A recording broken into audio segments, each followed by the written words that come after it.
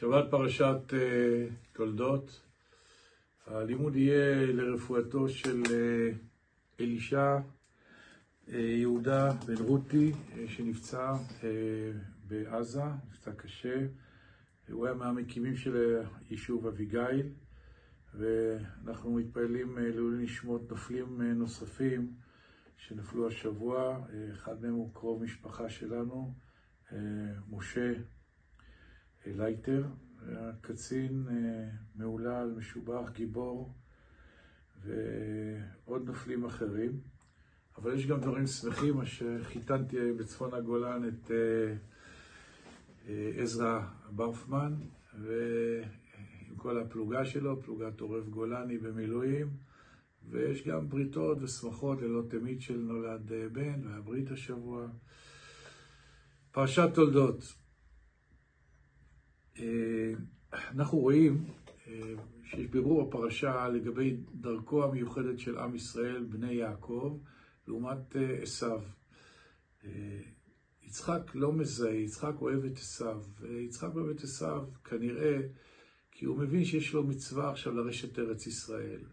וכתוצאה מכך צריך מישהו שהוא לוחם, שהוא איש שדה, ועשיו עונה לקריטריונים האלה. ויעקב השתה משב אוהלים, לומד תורה, אז מה כבר יכול לצאת ממנו בתור, איך אפשר לרשת את הארץ עם כזה ישיבני כזה, בחור ישיבה. אבל רבקה יודעת שיש תכונות לעשו שהן לא תכונות בהכרח של יכולת לרשת את הארץ. למשל, הוא בא עייף מן השדה, רעב, יעקב עושה נזיד, והוא מוכן למכור את הבכורה תמורה זה שהוא עכשיו רעב. זאת אומרת, התכונה הזאת של ההתגברות, איזה הוא גיבור הכובש את יצרו, היא לאו דווקא שרירים, לאו דווקא כושר, אלא יותר אישיות. והאישיות של עשיו הייתה עכשוויסטית, שלא חשבה לטווחים ארוכים, וגם לרשת את ארץ ישראל זה קרב ארוך, זה לא קצר טווח, ואנחנו עדיין עכשיו במלחמה הזאת על ארץ ישראל, וצריך להיות בתכונות האלה של הגיבור שהוא כובש את יצרו. יכול להתאפק. גם אנחנו אה, לאט לאט מתקדמים אה, בימים האלה בעזה, ואנחנו צריכים לברר באמת אה, איך זה יכול להיות שיצחק לא מזהה את התכונה הזאת בעשו. ובאמת, אנחנו רואים שאצלנו האימהות תמיד מאזנות את הבעלים שלהם. אם זה שרה שדורשת את גירוש ישמעאל כי מזהה את התכונות של מצחק, ואם זה עכשיו רבקה שיודעת ומרגישה שהדרך של עשיו היא לא הדרך שמתאימה להמשך דרכו של אה, אברהם אבינו גומל חסדים. הרב קוק במאמר מדבר שור מתמודד עם השאלה הזאת, אז איך בכל זאת יעקב אשתה משב אוהלים הופך להיות אה, יורש הארץ ומקבל את הברכה, אמנם לא בכוונה, של יצחק. מאמר מדבר שור, הדרושה תשעה ועשרים. שמעתי את השיעור הזה לפני 35 שנה מהרב טאו, לפני שחתמתי קבע שנה, והרב קוק מסביר שלמעשה מה שרבקה מלמדת את יצחק זה שיעקב מסוגל ללבוש את בגדי עשיו. ללבוש את הבגדים, אין משמעותה שאנחנו הופכים להיות עשיו. אנחנו הולכים, עולים על מדים, אנחנו לא הופכים להיות חיות.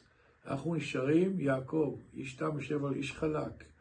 אבל כשצריך אנחנו לובשים את המדים.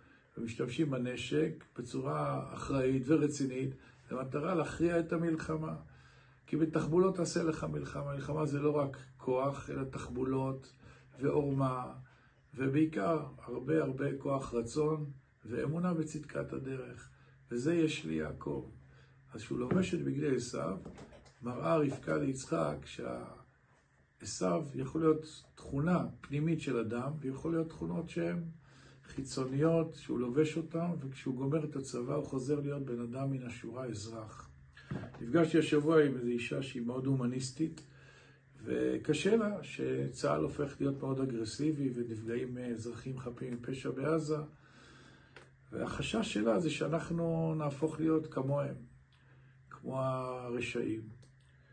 ויותר מזה, היא אומרת, כל הייעוד שלנו כעם ישראל הוא תיקון עולם, להראות שאנחנו עם מוסרי, ופתאום אנחנו הפכנו להיות, חוזרים להיות עם אה, שמתאכזר אל חלשים. וכך גם היה בימי החשמונאים, אנחנו נכנסנו עכשיו לחודש כסלו, היה מאוד דומה. הקרב בין uh, היהודים ליוונים היה על השבת, שהיוונים כפו עלינו שלא לשמור שבת. ויהודים לא נלחמו בשבת. אלף יהודים נהרגו במערה כי הם לא נלחמו בשבת. עד שבא מתתיהו ואמר, פיקוח נפש דוחה שבת. אבל הם אמרו לו, מה, אנחנו, כל המלחמה על השבת, לשמור שבת, זה איך נילחם בשבת, זה חילול שבת. הוא אומר להם, עכשיו, כדי לשמור את השבתות של עם ישראל לעתיד, חייבים עכשיו להילחם. גם עכשיו, הצורך שלנו להיות יותר אכזריים ולהיות מאוד אה, נחושים בהכרעה של המלחמה, היא זמנית. אנחנו לא הופכים להיות עשיו, אנחנו נזהרים לא לגעת בשלל ולא לעשות דברים שהמחבלים עושים. יחד עם זה, מאוד נחושים להכריע את המלחמה. אז כן צריך להבחין בין לבישת בגדי עשיו, שזה דבר חיצוני הבגדים, לבין להפוך להיות עשיו. אז אנחנו לא נהיה עשבים, לא נהיה אכזריים, אלא נהיה אה, כאלה שמכריעים את המלחמה ונפגע במעטפת וביוזמים ובתרבות שעסקה בחינוך גם לאכזריות שראינו אצל, אה, אצל החמאס. אז הרב קוק במאמר הזה, בדרוש ה-29 ו-20, מוביל אותנו בדיוק לנקודה הזאת שאנחנו ממשיכים להיות יעקב, איש תם יושב אוהלים, שייכים לבית המדרש. מתוך בית המדרש אנחנו יוצאים ומכריעים את האויבים. שבת שלום.